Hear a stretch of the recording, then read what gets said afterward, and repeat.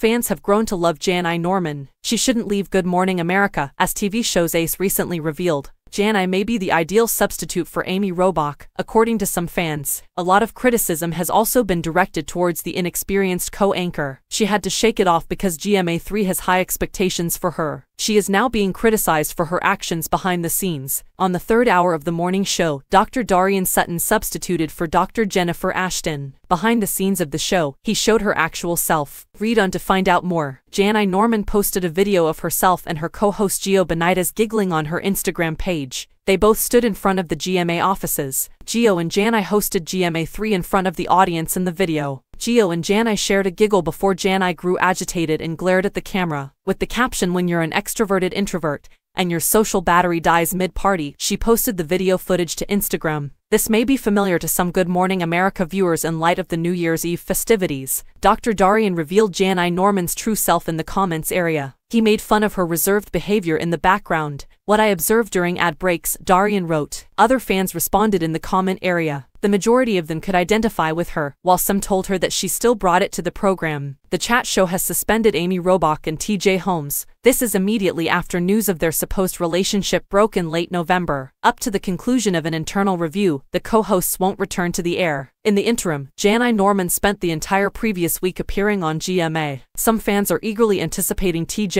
and Amy's potential comeback. Janai Norman's performance on the show has received appreciation from other viewers. Some even call on GMA to make her a full-time employee. To offer their ideas, they flooded the GMA3 What You Should Know Instagram page.